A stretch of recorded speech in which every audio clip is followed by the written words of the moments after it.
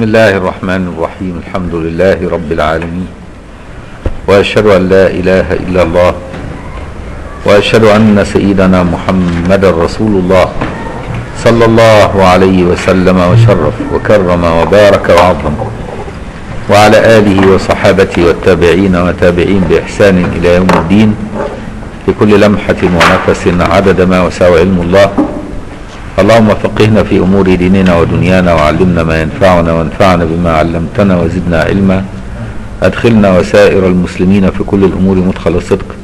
وأخرجنا وأخرجهم من كل الأمور مخرج صدق. واجعل لنا من لدنك سلطانا نصيرا. نسألك علما نافعا ورزقا واسعا وشفاء من كل داء.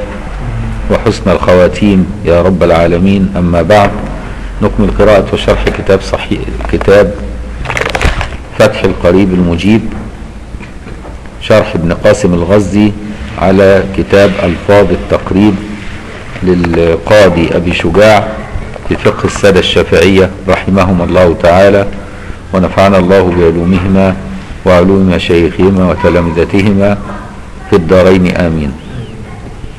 كتاب النكاح وما يتعلق به من الأحكام والقضايا. والنكاح اللي هو الزواج وما يتعلق به. من الأحكام أي الأحكام الشرعية والقضايا التي تنشأ فيه وبسببه. والأحكام والقضايا من باب عطف الخاص على العام لأن الأحكام تشمل القضايا وكأنه يعني عمم ثم خصص. والنكاح من الشرائع القديمة.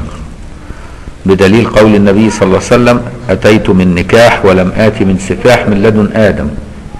إلى أن وضعتني أمي. فالنكاح من الشرائع القديمة وهي سنة نبوية شريفة سنها جميع الأنبياء لتستمر الحياة مع المحافظة على النسب.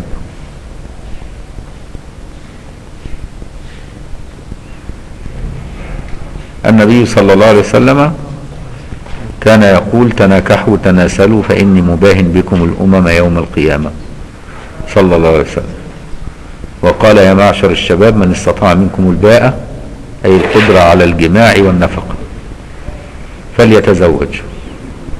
فإنه أغض للطرف وأحصن للفرج. ومن لم يستطع فعليه بالصوم فإنه له وجاء. حديث كل الناس حافظينه والحمد لله. لا يخلو عقد نكاح إلا وتقال مثل هذه الأحاديث فيها فهي أحاديث متكررة محفوظة عند جميع المسلمين. والله أقول وأنكحوا الأيام منكم والصالحين من عبادكم وإمائكم. والأيام هي من لا زوج له سواء بموت يعني تبقى أرملة أو بطلاق. أو حتى إيه؟ يعني لم يسبق لها الزواج. فالأيم هي المرأة التي لا زوج لها سواء لم يسبق لها زوج أصلا أو تزوجت فطلقت أو تزوجت ومات عنها زوجها. كل ده يسمى أيم والصالحين من عبادكم وإمائكم يعني الأرقاء اللي هم أيام ما كان في رقيق. إن يكونوا فقراء يغنيهم الله من فضله. فقد يكون النكاح سببا للغنى. يقول وفي بعض النسخ وما يتصل به من الأحكام والقضايا. يعني كتاب أحكام النكاح وما يتصل به مكان ما يتعلق به. من الأحكام والقضايا. والأحكام جمع حكم والقضايا جمع قضية. والحكم هو النسبة الكاملة بين شيئين. ده أصل الحكم كده النسبة الكاملة بين شيئين. تقول الصلاة واجبة. هي دي نسبة كاملة. أو تقول مثلا السرقة حرام ودي برضو نسبة كاملة. يعني جملة مفيدة تبين مبتدأ وخبر. والقضايا ما يتعلق بها من قضايا تنشأ بسبب النزاع أو بسبب ما يطرأ على العقد من أسباب فسخ أو أسباب صحة أو أسباب فساد. وهذه الكلمة ساقطة من بعض النسخ النسخ المتن. والنكاح يطلق لغة على الضم والوطء والعقد. لغة هو الضم. وأيضا يطلق على الوطء اللي هو الجماع ويطلق أيضا على العقد. أما من الناحية الشرعية يعني هو لفظ في الراجح أنه لفظ مشترك بين العقد وبين الوطء الراجح. وإن كان في قول يقال أنه حقيقة ومجاز. له حقيقة وله مجاز. فالأحناف قالوا أنه حقيقة في الوطء مجاز في العقد والشافعية العكس. قالوا حقيقة في العقد مجاز في الوطء يعني عندنا الوجوه الثلاثة في المذهب على فكرة. لكن الراجح في المذهب أن هو حقيقة في العقد مجاز في الوطء كويس؟ وفي قول تاني يقال أنه مشترك. مشترك بين مشترك لغوي يعني مش حقيقة ومجاز بقى بل حقيقة في الاثنين في الايه في العقد وفي الوطء ويطلق شرعا على عقد مشتمل على الأركان والشروط. وهنتكلم على أركان العقد وعلى شروط العقد إن شاء الله. العقد هنا يتضمن إباحة وطء بلفظ نكاح أو تزويج أو ترجمته يعني هو عقد يتضمن إباحة وطء بلفظ إنكاح أو تزويج أو ترجمته.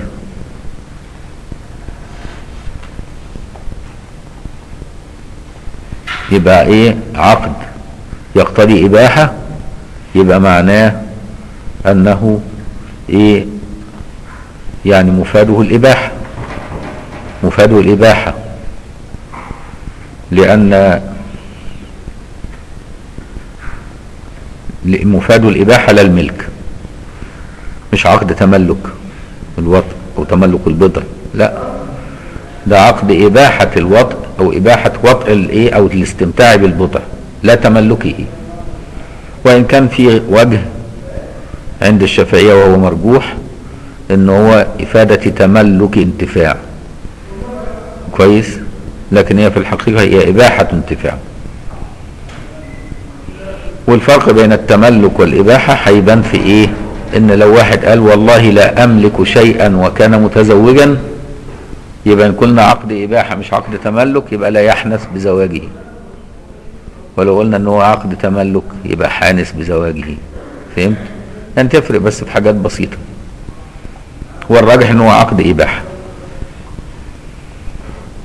ولما كان هو أصله الإباحة يبقى يطرأ عليه الاستحباب إذا كان بقصد العفة أو النسل. لكن هو أصله مباح زي الأكل والشرب كده. يعني النكاح ده عامل زي الأكل والشرب. الأكل والشرب ده مباح. لو بتأكل من أجل التقوي على الطاعة صار مستحب صار كويس كذلك النكاح.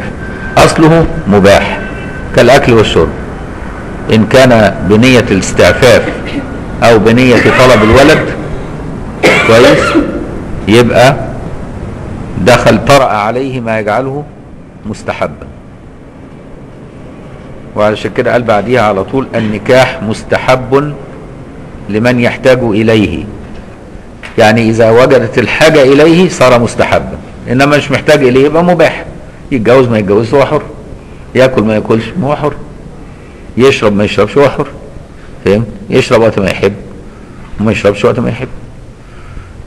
لكن لو طرأ عليه الحاجة محتاج حد يؤنسه محتاج حد يعني يخدمه محتاج حد يعفه محتاج حد يأتي منه بولد يبقى صارت الحاجة فيه فإيه؟ ترقيه من حالة الإباحة إلى الاستحباب أو الوجوب أحيانا.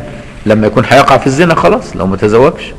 هيقع في الحرام يبقى واجب وعنده الاستطاعة يبقى في حقه واجب. طب افرض إنه هو لا يحتاجه مش مهم وافرض ان هو قال لا لا يحتاجه ولكن قادر على الجماع والنفقة وهو لا يحتاجه. كويس؟ يبقى مباح محتاجه مستحب محتاجه ضروري يبقى واجب. مش محتاجه. وهيلهيه عن العبادة يبقى في حقه مكروه. يعني هيقول عما هو أهم منه. وهو أصلا مش محتاجه. نفسه لا تحدثه بالنساء. عايش كده مبسوط. واخد بالك؟ طب افرض عنين ليس عنده القدرة على الجماع. أو ليس عنده القدرة على النفقة. أو خايف لحسن يظلم المرأة التي يتزوجها لأنه كثير الترحال. غضوب. لما بيغضب بيضرب. خايف لحسن لما يتجوز واحدة يضربها ويأذيها عشان طبعه وحش يبقى في حقه حرام يتجوز. طالما هو شايف في نفسه هذا. يعني معناه إنه ممكن يعني إيه؟ تعتريه الأحكام الخمسة. لكن هو في أصله الإباحة. ثم يطرا عليه ما يطرا فيجعله أحيانا مستحب أحيانا واجب أحيانا مكروه أحيانا حرام وهكذا. يبقى النكاح مستحب لمن يحتاج إليه. إيه هو يحتاج إليه؟ بتوقان نفسه للوطء وخايف لحسن يقع في الفتنة أو في الزنا اللي هو العنت. العنت في الآية. واخد بالك؟ يخشى العنت منكم. واخد بالك؟ العنت اللي في الآية اللي هو أباح له أن يتزوج حتى أما. إن هو الزنا أن يقع في الزنا. يعني عايش في مكان فيه شهوات معروضة عليه وهو أيضا يتوق للنساء ولا يستطيع انه يعف نفسه وشاء حاسس إنه هيقع في الزنا يبقى واجب في حقه ان هنا إيه يتزوج. مش كده وبس ليس فقط القدرة على الجماع والرغبة فيه بل لازم كمان يبقى معاه حاجة تانية ويجد أهبته كمهر ونفقة يعني ومعاه كمان النفقة والقدرة القدرة المالية. لأن النكاح هينبني عليه وجوب النفقة على الزوجة ووجوب سكناها ووجوب كسوتها ووجوب إيه؟ المهر. كل ده هيتطلب منه إمكانيات مالية. وعلشان كده ويجد أهبته كمهر ونفقة. ممكن نزود عليها وكسوة ومسكن. كمان يعني وإن كان هو مش قايلهم لكن مطلوبين. مش كده برضه؟ افرض واحد ما عندوش مأوى وما عندوش قدرة على إنه يحضر مأوى يعني سكن يروح يتجوز هيقعد بيها في الشارع. فهمت إزاي؟ ما ينفعش. لما يحضر مأوى يبقى إيه؟ يروح يتقدم للناس ويتزوج. يبقى إيه؟ النكاح مستحب لمن يحتاج إليه بتوقان نفسه للوطء ويجد أهبته يعني استعداده كمهر ونفقة ونزود عليها وكسوة ومسكن. فإذا فقد الأهبة اللي هي وسائل الاستعداد لم يستحب له النكاح في الحالة دي. ليه؟ لأنه ممكن بالطريقة دي يوقعه في التقصير في التقصير في النفقة في ظلم من تزوجها. كل ده يوقعه في الأزمة. يزول الاستحباب في دار الحرب. يبقى ال ال ال النكاح في دار الحرب بين الإباحة والكراهة ولا يكون مستحبا أبدا في دار الحرب. ليه؟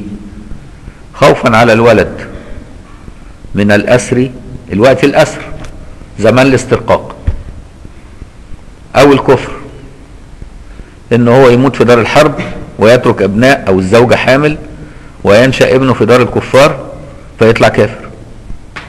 مش كل ده وارد وبالتالي تزول الاستحباب إذا كان في دار الحرب خوفا على الولد من الكفر أو الأسر. مش هنقول بقى الاسترقاق لأن ما بقاش في الوقت إيه؟ استرقاق. وفي الحالة دي إذا تزوج في دار الحرب وجب منع النسل. يبقى في الحالة دي يجب استخدام وسيلة لمنع الحمل. افرض هو في دار حرب ونفسه تطوق وهيقع في الزنا يعمل إيه؟ يتزوج ويمنع الحمل. فهمت إزاي؟ يبقى في حقه منع الحمل واجب في حقه برضه خوفا على الولد وكتير من اللي إحنا شفناهم عاشوا في بلاد أجنبية وأنجبوا وماتوا هناك وأولادهم بعد ذلك أو أحفادهم تحولوا إلى دين غير دين الإسلام. نماذج كثيرة مشهورة لدرجة واحد قريبنا قريبنا من عيلتنا. مراته أيرلندية بعد ما أنجب منها ولد وسماه اسم عربي إسلامي. هربت وخدت الولد وعنده أربع سنين ورجعت لأيرلندا وابنه دلوقتي عنده 30 سنة بيروح الكنيسة. شوف إزاي وهو اسم إسلام. عشان الفقهاء أما يقولوا الكلام ده مش بيقولوا من إيه؟ من فراغ. لا يقولونه من فراغ بل تجارب بشرية موجودة معروفة. جيراننا في المنيل كان جدهم من أهل القرآن جدهم. أحد أحفاده عايش في أمريكا ولد في أمريكا وعايش في أمريكا لما بلغ أربعين عاما وتنصر. وجده من أهل القرآن. ولد في أمريكا لحد ما وصل سنه 40 سنة. واخد بالك؟ وبعد السن ال 40 بيسألوا عليه تعالى خد ميراثك من جدك عشان بعنا العمارة. قال لهم لا عايز ميراث ولا حاجة ماليش جداد وبعدين بيسألوا قرايبه اللي هناك قالوا لهم ده حتى ما بيصليش ده بقى يروح الكنيسة. فلا حصل مسلم ولا حصل مسيحي كل دي نماذج مشهورة معروفة إحنا عايشينها وشفناها. فهمت إزاي؟ في كلام الفقهاء مش كلام يعني مجرد كلام نظري بل مبني على تجارب الحياة. عشان كده إذا تزوج في بلاد الكفار وجب عليه أن يمنع الحمل. حتى لا يخرج من صلبه كافر. لما يرجع بلده ما يجراش حاجة بقى يبقى ينجب زي ما هو عايز. ويجوز للحر أن يجمع بين أربع حرائر. طبعا للحر ما لم إيه؟ غير النبي. للحر المسلم غير النبي. النبي مستثنى لأن النبي جمع بين إيه؟ أكثر من أربعة جمع بين تسع وتزوج ثلاثة عشر امرأة. مش كده برضه؟ ويجوز للحر أن يجمع بين أربع حرائر فقط والنبي مات عن تسع. إلا أن تتعين الواحدة في حقه. أحيانا يبقى لا يجوز له التعدد بالرغم إن هو مباح. التعدد حكمه الإباحة وليس الاستحباب كما ذهب الوهابيه يقول لك الأصل التعدد لا الأصل عدم التعدد. التعدد ده مباح وليس هو الأصل. بدليل أن أبونا آدم ربنا كان ممكن يخلق له 24 امرأة 24 ضلع. خلق له واحدة. وعاش بها إلى أن إيه؟ أنجبت 40 بطن أنجبت له 40 بطن امنا حواء يبقى الأصل إيه؟ والنبي لما تزوج امنا خديجة وأنجب منها لم. لم يتزوج عليها امرأة قط. يعني إذا تزوجت امرأة وأنجبت منها وتكونت أسرة فيستحب في حقك ألا تعدد حتى لا تشوش الأسرة. لأن إذا تشوشت الأسرة تشوشت أنت معها لكن إمتى يست... يعني يجوز لك أن تعدد؟ تزوجت امرأة ولم تنجب منها والعيب منها. وأنت تريد النسل لك أن تتزوج غيرها عشان تنجب. ولا يدعك هذا إلى أنك تظلمها. كويس؟ فالنبي صلى الله عليه وسلم لما تزوج خديجة وأنجب منها. تزوج عليها؟ 25 سنة متزوج امرأة واحدة. جابت أسرة عنده أسرة. انجبت له خمسة. فإذا تكونت الأسرة الأصل عدم التعدد. واضح؟ أحيانا تتعين الواحدة. لو تزوج سفيه. رجل سفيه لا يحسن التصرف في المال لكن نفسه تطوق للنساء ولو سبناه هيقع في الزنا. يبقى كفايه عليه واحدة بقى. ما ينفعش يعدد وهو سفيه مش كده برضه؟ ونحوه أو مجنون بيجي له جنون نوع من الجنون لكنه إيه؟ لو سبناه هيروح إيه؟ يتعرض لأبناء لبنات الجيران ويعمل لنا مشاكل. كلهم والتاني الولد عايز إيه؟ بنت من بنات الجيران وهو مجنون. نعمل له إيه؟ نقوم نزوجه واحدة علشان وما نزوجوش أكتر من واحدة لأنه ده مجنون متعينة في حقه واحدة واضح؟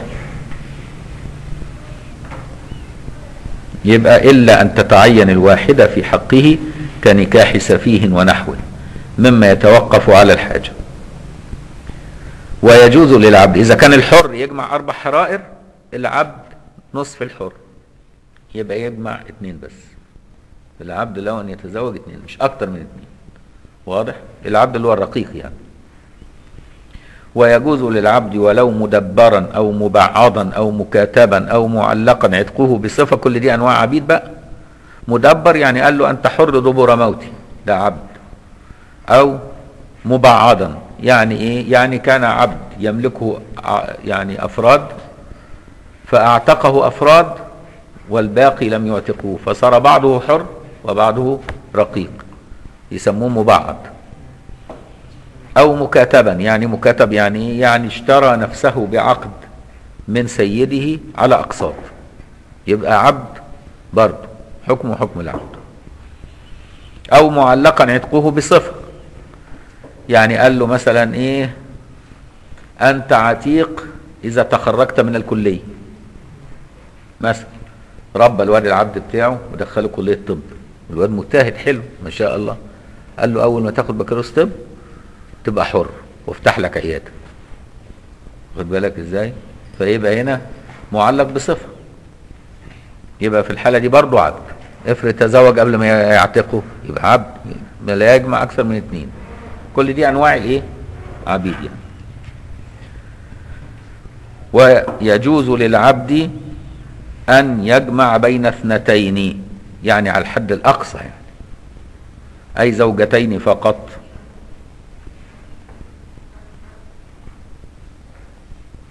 ولا ينكح الحر أم- أمة لغيره إلا بشرطين.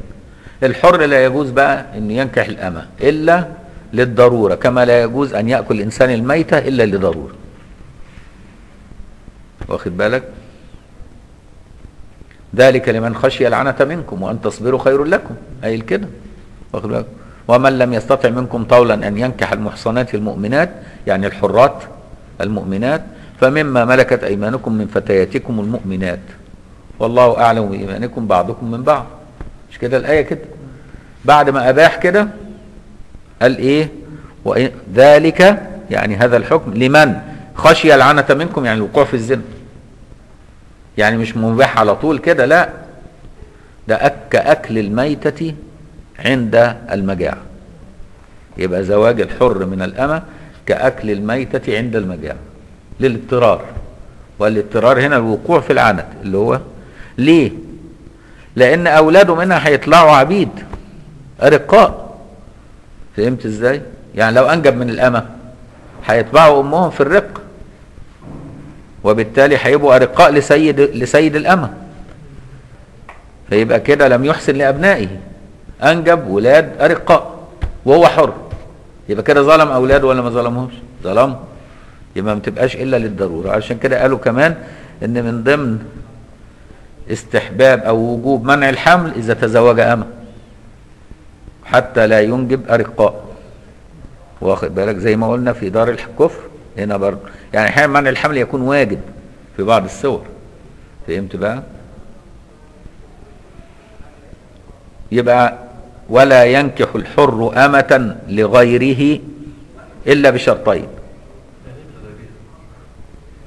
لأن لو الأمة ليه مش محتاج إنه يتجوزها ما هي ملك يمين. لازم تبقى لغيره عشان ينكحها يتزوجها يعني مش كده برضه؟ لكن لو لنفسه طب ما خلاص ما هي ملك يمين مش محتاج يعقد عليها. ولا ينكح الحر أمة لغيره إلا بشرطين. أصل كان زمان ساعات يزوجوا إمائهم لبعض الأحرار علشان يكتر العبيد تحته عنده. فهمت بقى إزاي؟ يعني في واحد حر كده مش عارف يتزوج وخايف يقع في الزنا لكن صفاته كويسة قوي البنية. يقول لك آه ما أنا اجوزه البت الأمة دي يقوم تخلف لي عيال أقوياء يطلعوا عبيد أقوياء ينفعوني. في الأرض يزرعوا معايا ويشيلوا معايا ويحطوا معايا. فهمت إزاي؟ كانوا زمان بيعملوا كده أيام ما كان فيه رق. واضح؟ يبقى ولا ينكح الحر أمة لغيره إلا بشرطين. طبعا لو الحر ده قبل ما ينكح أمة يشتري أمة. أهلا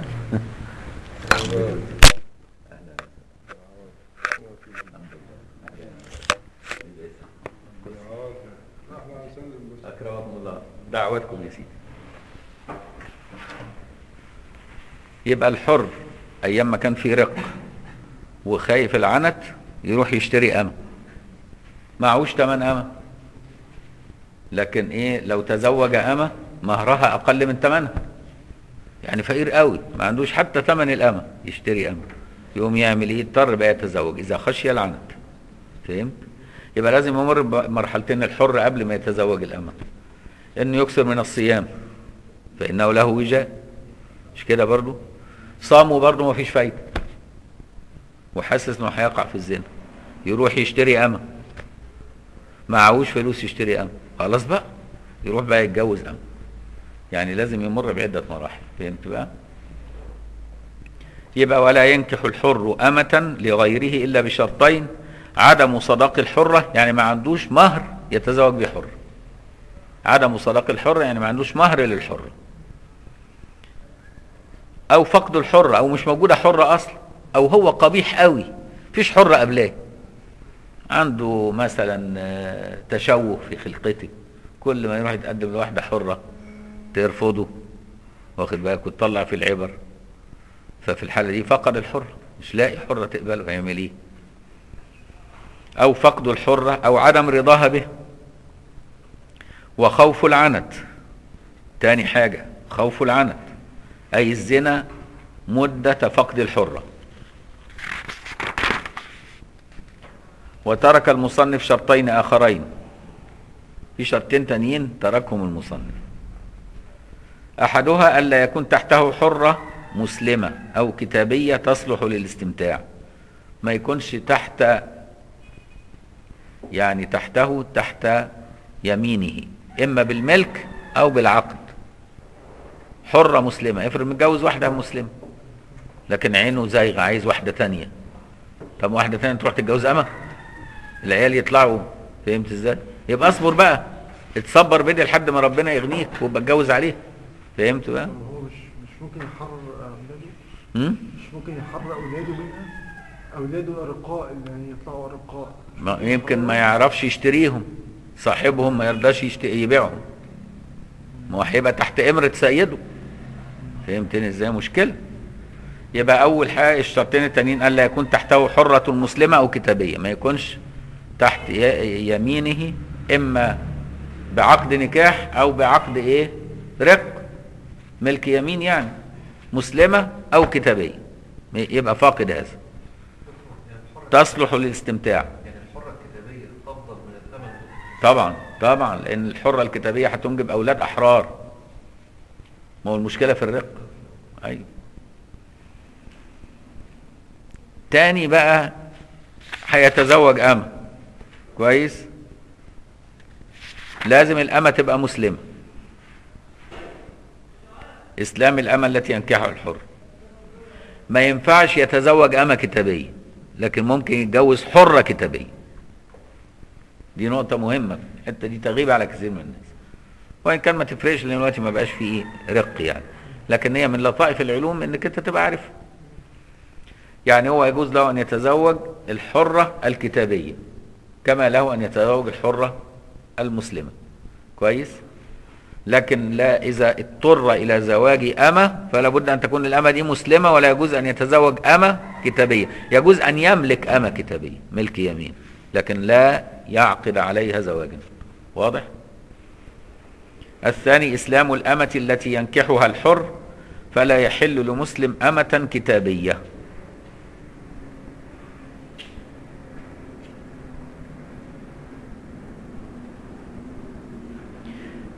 خد بالك إن سبب منع الإيه؟ نكاح الأمة إيه أساسا؟ الإرفاق بالولد. عشان ما يطلعش ولادك عبيد. دي نقطة مهمة تاخد بالك منها. وإذا نكح الحر أمة بالشروط المذكورة ثم أيسر ونكح حرة لم ينفسخ نكاح الأمة. هو نكح أمة في الاضطرار بالشروط المذكورة دي. وبعدين ربنا فتح عليه وربنا كرمه وبقى عنده صداق الحرة فتزوج حرة. لا ينفسخ العقد مع الامه من تلقاء نفسه فهمت إزاي؟ لا يستمر العقد ثم ينطلق بعد ذلك إلى موضوع جديد ويقول ونظر الرجل إلى المرأة على سبعة أضرب لأن خد بالك لما هيجي ينكح عايز يتزوج لابد إن ينظر للمرأة اللي هينكحها علشان يخطبها لابد إن يشوفها. فهيتناول بقى إيه؟ حكم نظر الرجل للمرأة الأجنبية مطلقا عموما. خدت بالك؟ الأمة بالنسبة للسيدة مم. يعني سيد الأمة مش ليه اللي هو إذا زوجها يبقى لا يستمتع بها فراشا يستمتع بها خدمة بس تخدمه تطبخ له لكن لا يستمتع بها فراشا لأن بقى تحت رجل بالنسبة ما ده معروف من الأحكام. السيد إذا أنكح أمته لرجل آخر سواء هذا الرجل كان عبد زيها أو كان حر يبقى إيه؟ لا يصح له يحرم عليه الاستمتاع بها. ما ينفعش تبقى فراش لرجلين فهمتني إزاي؟ دي معروفة حكم الجمع بين قضيتين يعتبر من المباحات ولا الأمة إيه؟ حكم الجمع بين قضيتين يعني. آه ده ده ده مباح. مباح؟ سنة؟ لا مباح. لا ما إحنا قلنا التعدد أصله الإباحة وليس الاستحباب. الأصل فيه الإباحة وليس الاستحباب. بل الأصل في النكاح الإيه؟ المرأة الواحدة. إذا كونت الأسرة من فعل النبي كده. لما كون أسرة ما تزوجش إلا بعد وفاة خديجة. كده ده اللي عمله النبي مع نفسه. والنبي أوتي فحولة إيه؟ فحولة سبعين وقيل أربعين نبيا. يعني مش فحولة عادية يعني. واخد بالك إزاي؟ يعني يقال أن النبي فحولته أربعين رجل بقدر أربعين رجل. والنبي بقى فحولته بقدر أربعين نبي. عشان تعرف قد إيه النبي كان أقوى الناس عفة على الإطلاق. يوم وهو بهذه الفحولة يكتفي في عز شبابه بامرأة تكبره ولمدة 25 سنة لوحده. عشان تعرف قد إيه نبيك كان يمتاز إيه بالعفة فهو أعف خلق الله صلى الله عليه وسلم. كان عاوز يعني يعني أولاد يعني عنده أولاد وعاوز في زمن الفتن يستحب عدم الإكثار من هم في زمن الفتن يستحب عدم الإكثار من الأولاد. اديك انت شايف الزمن بتاعنا ده. العيال بتقع في دائرة الإدمان وبتقع في دائرة ال- ال- الإلحاد وبتقع في دائرة الفسق والفجور. زمن صعب. مش كده برضو؟ فاحتمالات. أيوة لما يبقى المجتمع فيه تواصي بالحق وتواصي بالصبر والخير كتير. خلف لأن حتى لو مت المجتمع هيربي ولادك. إنما تبقى مجتمع متفكك زي اللي إحنا عايشين فيه. والفتن بتأتيك من كل باب ومن كل شباك. ولو قافل الباب والشباك جاية لك برضو عن طريق الأقمار الصناعية. تخترق حتى الجدران. فبقينا في زمن صعب. وفي الحالة دي الإقلال من النسل احسن وده دي فتوى مشايخنا كمان. قالوا لنا كده. قالوا لنا نحن في زمن يكتفي المرء فيه بامرأة واحدة ويكتفي من النسل باثنين أو ثلاثة. وخلاص كفاية عليك كده لأن زمن فتنة. وزمن تشويش. وديك أنت شايف الولاد بيعملوا إيه؟ يعني لو واحد عنده 10 عيال في احتمال اتنين تلاتة منهم يشزوا يطلعوا وحشين قوي. فهمت إزاي؟ لكن لما بيبقى خالف اتنين تلاتة وقاعد محوط عليهم. احتمالات الإيه؟ انهم أقل. طبعا كل شيء جايز. ربنا ينجينا. لكن بتبقى الاحتمالات أقل.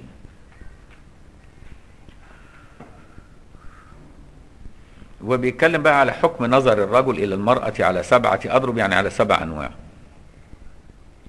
أحدها نظره ولو كان شيخا هرما عاجزا عن الوطء إلى أجنبية لغير حاجة إلى نظرها فغير جائز. يبقى إيه؟ غير جائز يعني حرام من الصغائر. حرام من الصغائر. يعني راجل كبير وعاجز حتى عن الوطء وبقت ما عندوش الشهوة لكن يقعد يتفرج على النساء الأجنبيات. إيه حكم نظره؟ حرام. غير جائز حرام. بس مش صغائر يعني. يعني مجرد يتوضى كده خلاص تنزل شوية الإيه البصات اللي بصاها نزلوا مع إيه آخر قطر الماء. تكفرها الصلاة يكفرها الصيام جمعة الجمعه الوضوء الحاجات دي. كويس؟ عليها. ها؟ الإصرار المداومة عليها والإصرار برضه هو أول ما هو كل شوية بيصلي كل شوية بيتوضى. واخد بالك؟ خلاص يبقى غير جاهز. فإذا كان النظر لحاجة كشهادة عليها جاز. إذا كان بقى لحاجة بيبص عليها عشان يشهد. لعقد زواج فلان هيتجوز فلان عايز يعرف مراته عشان يعرف إن دي زوجة فلان. شهادة. أو عقد بيع بيشتري من امرأة أجنبية السيارة بتاعتها. لازم يتحقق من شخصيتها عشان يعرف طرفي العقد. عشان حتى لو حصل نزاع يبقى يتحقق هو شاري من مين. يعني ما ينفعش عقد بيع زي ما قلنا وامرأة منتقبة وبتبيع عمارة وهي منتقبة. إزاي؟ طب ما بعد شوية تلاقي واحدة كمان منتقبة تقول لك أنا اللي بعتها لك هات الفلوس. تيجي تدي الفلوس ليها تطلع مش هي. تحصل مشاكل. فيبقى إيه؟ يجوز هنا النظر لأن تعارف العاقدين في العقود موجود مطلوب وكذلك الشهاده عند القاضي. افرض هذا الرجل الكبير قاضي وجاية له واحدة بتشهد لازم يتحقق من شخصيتها إن هي دي فلانة. واخد بالك إزاي؟ مش واحدة تانية منتقبة وجاية تشهد وتقول لها أنا اسمي فلانة وتطلع أختها. مش هي مش كل ده وارد؟ كذلك في الامتحانات الشفوي. ما تخشش طالبة منتقبة شاطرة تمتحن مكان خمسة. وكل شوية تقول أنا اسمي شيماء. وتطلع وتدخل من الباب الثاني أنا اسمي فاطمة. وتدخل وشيماء وفاطمة وبتاع كلهم قاعدين بره مش مذاكرين وهي البت منها مذاكرة داخله تقش وتديهم درجة. ما ينفعش. الممتحن لازم يتأكد إن اللي قدامه دي هي الطالبة اللي بتمتحن. عشان لو دخلت تاني تمتحن يقول لها أنت لسه ممتحن فهمت؟ كل ده. أو جاية له تدخل بيته. واحدة بتخبط. منتقب تقول لك أنا صديقة مراتك ممكن أدخل؟ تقول تدخلي بيتي مش عارف شخصيتك. فما ينفعش إنها تدخل البيت إلا وهي رافعة. النقاب وشايف أنت وجهها عشان عارف إن فلانة دي صديقة إيه؟ مراتي. لا تكون راجل. تقول لك أنا صديقة مراتك. مش حصلت حوادث زي دي؟ ما ينفعش تدخلها بيتك يبقى إيه؟ فإن كان النظر لحاجة كشهادة عليها ونحوه جاز. ونحوه بقى حط بقى إيه؟ أمثلة كتير. زي برضو الراجل اللي قاعد على باب البنك. حراسة. وداخلة منتقبة. لازم يشوف شخصيتها يتحقق من شخصيتها لأنه وظيفته الأمن. بواب عمارة كبيرة فيها شقق كتيرة. ما ينفعش البواب يقعد ومنتقبة داخلة ومنتقبة خارجة والحكاية تا- وفي الآخر شقق تتسرق ومش عارف مين اللي دخل ومين اللي خرج. ما ينفعش. فهمت؟ دواعي الأمن تستدعي إن هو يعرف مين اللي داخل ومين اللي خرج وهكذا. كل دي الشرع الشريف عندنا يعني إيه؟ يبيحه له يبقى الثاني نظره أي الرجل إلى زوجته أو أمته اللي هي ما يحل الاستمتاع بها. بقى. يبقى يجوز ينظر لكل جسمها. حتى الفرج قالوا حتى الفرج وفي وجه مكروه. الفرج مكروه. وفي وجه تاني وهو الراجح أنه يحل له النظر للفرج حتى. طالما يحل له الاستمتاع بها فيحل له أن ينظر لكل جسمها. فيهاش إشكال.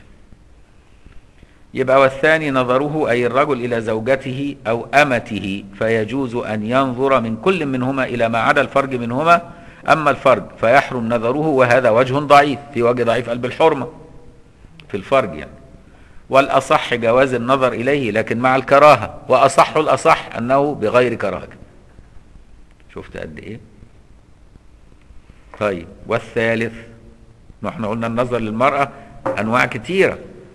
أجنبي مع أجنبيات. قلنا لا يجوز إلا لإيه؟ للضرورة اللي إحنا قلناها. طيب رجل مع ما يحل الاستمتاع به إذا كانت زوجة أو ملك يمين كل حاجة ينزل لكل حاجة. طيب هنا بقى نظروا إلى أقاربه ذوات محارمه أمه أخته خالته عمته. يعني ما لا يجوز أن يتزوج بهن. فهمت زي اسمهم المحارم. ويكونوا على التأبيد. إنما المحارم اللي على التأقيت زي الأجنبية بالظبط. المحارم اللي على التأقيت زي أخت الزوجة دي على التأقيت كالأجنبية بالظبط حكم. لكن المحارم اللي على التأبيد أم الزوجة. واخد بالك؟ خلاص. لأنها زي أمه بقى خلاص. أو أمه من النسب أو من الرضاع أو أخته من النسب أو من الرضاع أو عمتي أو خالته كل ما لا يجوز أن يتزوج بهن اسمهم محارم. بنسب أو رضاع أو مصاهرة. بنسب زي الأخت أو رضاع إيه بنسب زي الأم والأخت والخالة والعمة أو رضاع زي الأخت والأم أو مصاهرة زي أم الزوجة. كل دول. أو أمته المزوجة. الأمة بقى اللي بعد ما كان يحل لي أن ينظر لها كلها إذا زوجها لغيره يبقى صارت كأنها محارمه. فهمت؟ فيجوز. لا لحد ما تتطلق وتنقضي عدتها. فيجوز أن ينظر فيما عدا ما بين السرة والركبة. يبقى في الحالة دي المحارم بالنسبة للرجل ينظر إليهن ما عدا من السرة للركبة. يعني ممكن أختك ترضع ابنها قدامك. وده المعمول بيه في معظم الأسر. الأخت تقعد جنب أخوها وترضع ابنها تطلع ثديها فهمت إزاي؟ عادي ما هي دي أختي. فهمت إزاي؟ أما الذي بينهما فيحرم نظره. بينهما يعني بين السرة والركبة يعني. لا يحرم نظره إليه. حتى من أمه. النبي صلى الله عليه وسلم لما سألوا أحد الصحابة أستأذن على أمي يا رسول الله؟ قال أتحب أن تراها عريانة؟ قال لا. قال إذا فاستأذن. مش كده برضه؟ العلماء كانوا يقول لك إيه؟ أن يراها بثياب المهنة. الثياب اللي بتبقى قاعدة بيها بيتها يعني. بتطبخ بيها بتنفض بيتها بيها بتغسل بيها اسمها ثياب المهنة. يعني يبقى باين نص دراعها مش عارف إيه شعرها باين. لأن في بيتها وهي بتطبخ بتبقى كده يعني. يسموه ثياب المهنة. والرابع النظر إلى الأجنبية لأجل النكاح. هنا بقى خاطب عايز يخطب وعايز ينظر لامرأة عشان يخطبها. في الحالة دي لا يحل له إلا أن ينظر إلى الوجه والكفين بس وخلاص. وله أن يكرر ذلك حتى إيه يدعوه إلى نكاحه. يعني ممكن تشوف مرة واثنين وثلاثة لحد ما يطمئن إن هي تقاطعها كده وملامحها تريحه. ينبسط لو اتجوزها. فهمت إزاي؟ ويجوز بإذنها وبغير إذنها. يعني من وراها يستغفلها يعني.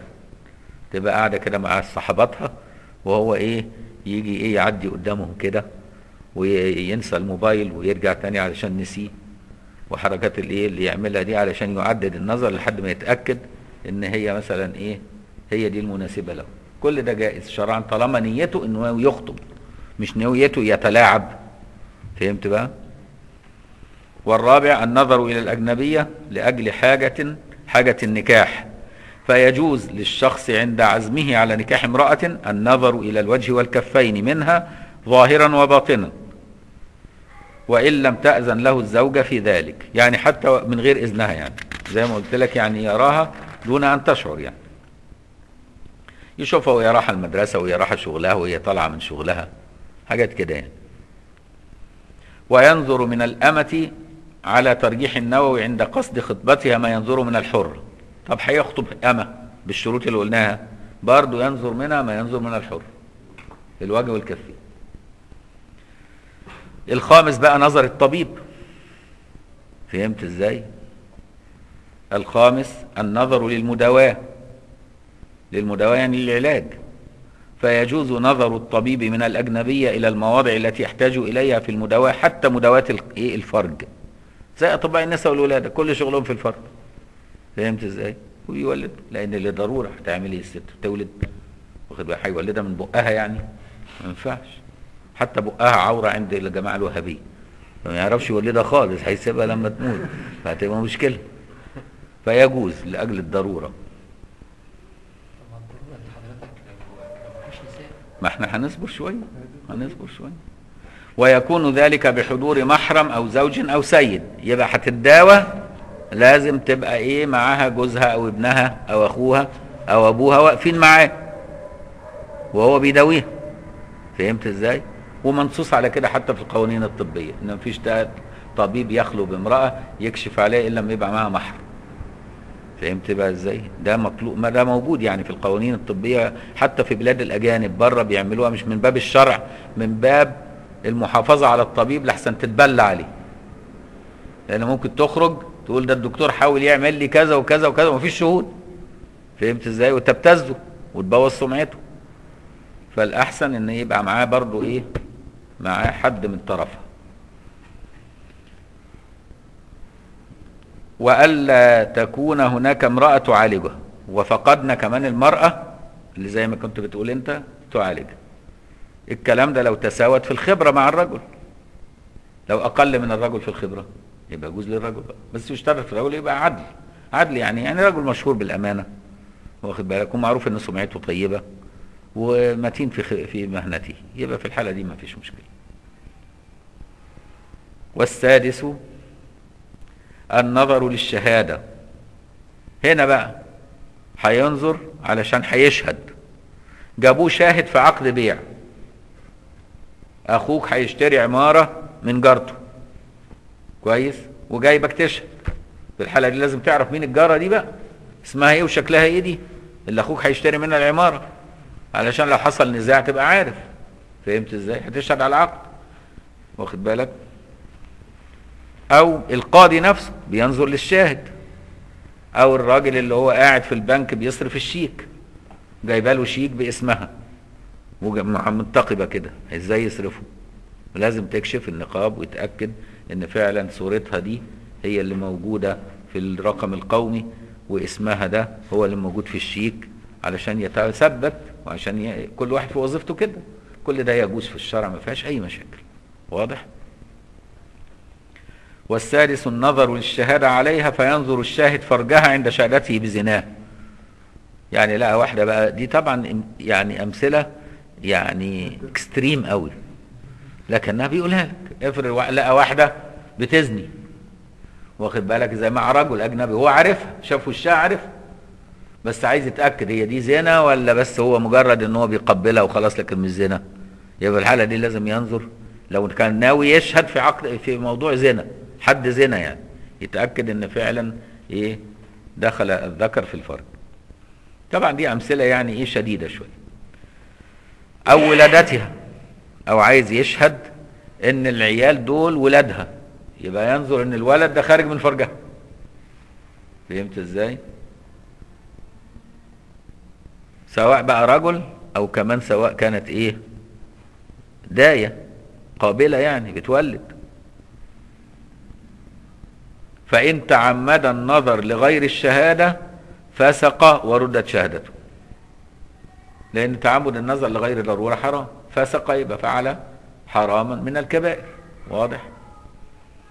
أو النظر للمعاملة في بيع وشراء بقى. هنا النظر من أجل المعاملة عقود البيع والشراء المعاملات المالية يعني.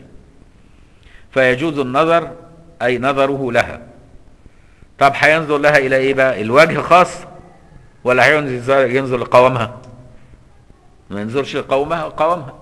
هيفاء مقبلة عجزاء مدبرة. ما ينفعش يا أستاذ. أنت تنظر يا دوب بس لإيه؟ لوجهها. إلى الوجه منها خاصة ويرجع للشهادة والمعاملة. السابع والأخير بقى من أنواع النظر النظر إلى الأمة عند ابتياعها. رايح يشتري أمة من سوق الرقيق. زمان ما كانش الوقت هنا. أي شراء فيجوز النظر إلى المواضع التي يحتاج إلى تقليبها. لأنها بقت بضاعة بقى. هنا بضاعة هيشتريها. ينظر ليها كل حاجة ما عدا الفرج. فهمت إزاي؟ فينظر أطرافها وشعرها لا عورتها اللي هي ما بين السرة والركبان. والله تعالى أعلى وأعلم. ونقف على فصل فيما لا يصح النكاح إلا به الثلاثاء بعد القادم إن شاء الله. اللهم علمنا ما ينفعنا وانفعنا بما علمتنا وزدنا علما. سبحانك اللهم وبحمدك نشهد أن لا إله إلا أنت نستغفرك ونتوب إليك.